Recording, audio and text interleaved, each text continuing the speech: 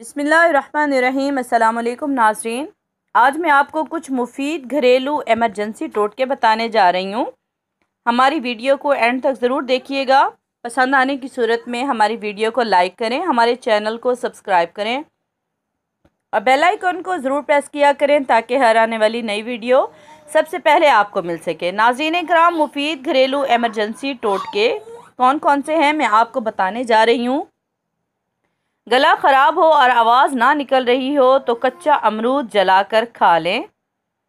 क्या करना है आपको? गला ख़राब हो और आवाज़ ना निकल रही हो तो कच्चा अमरूद जलाकर खा लें। लूज़ मोशन हो तो केले पर ज़ीरा लगाकर खाएँ।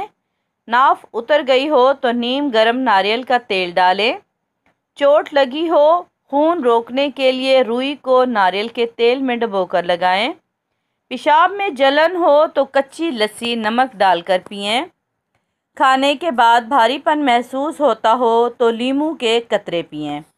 नाजरीन ग्राम, हमारी वीडियो को एंड तक ज़रूर देखा करें। उम्मीद है आपको पसंद आएगी। अपनी नेक दुआओं में हमें याद रखा करें। अल्लाह हाफिज़।